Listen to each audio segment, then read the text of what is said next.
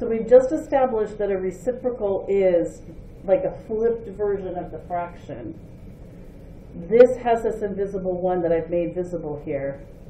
Would you believe me if I then said that this is the reciprocal of this? Is 18 over 1 the reciprocal of 1 over 18? If that's true, then I'm going to multiply both sides of this equation by that same reciprocal. Because it's an equation and we do the both same thing to both sides. You guys are with me?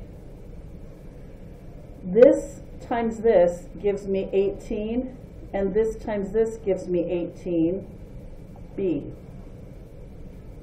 I'm just trying to make everything visible.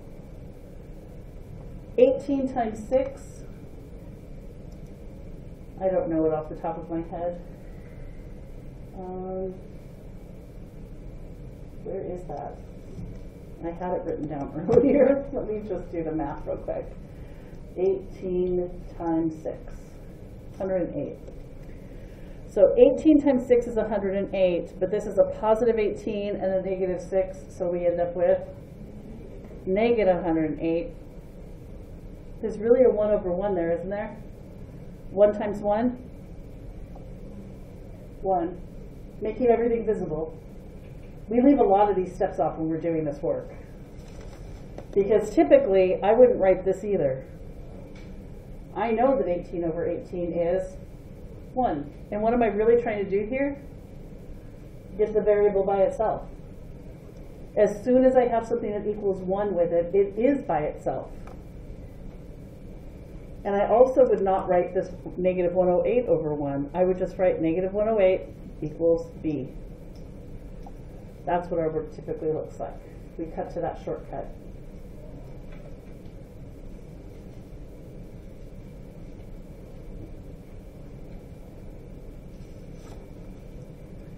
Why don't you turn your paper over and look at 15 and 16?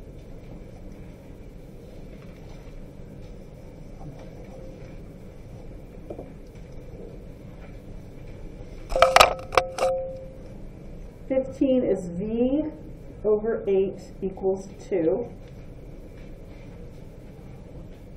And sixteen is sixteen equals K over eleven.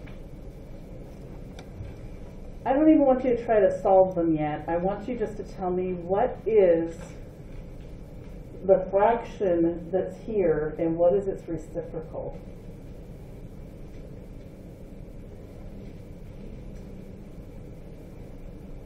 Go ahead and try writing them on your paper. What is the actual fraction that's here with this v and what is its reciprocal?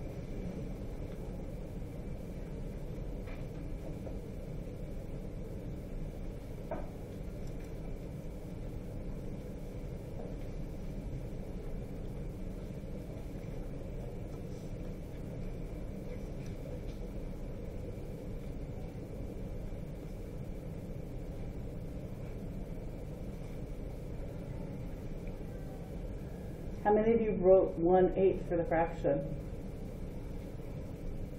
Really, it's one eighth v or one v over eight. What's its reciprocal? Eight over one.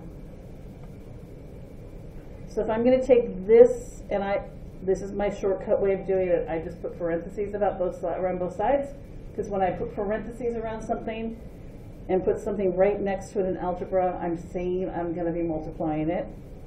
I'm going to squeeze my 8 over 1 in here. When I multiply this 1v times 8, I get 8. 8 times 1 is 8. And on the right side of the equation, I get 2 times 8 is 16 over 1. Again, I'm showing all of the work. Do we normally do that? No. What is 8 over 8? 1. That leaves me with the v. What is 16 over 1? There it is. Set up 16. You're not going to know this without a calculator because it's, it's not a number we've got memorized. But what's, what's the reciprocal that we need to work with here?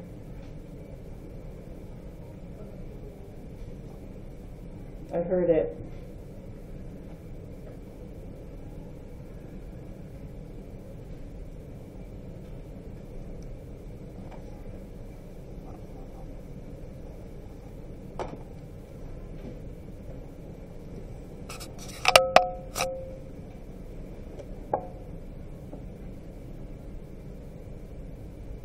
Now I'm dealing with the shortcut version. This is what we normally do. 11 over 11, you'll hear people say they cancel each other out. When we say they're canceling each other out, they're doing this. We're getting it to an invisible one. This 11 over 11 is equal to an invisible 1. That leaves us with k. And 11 times 16, good job. I used the calculator. Did you? You just sat there and calculated it? 176 equals k.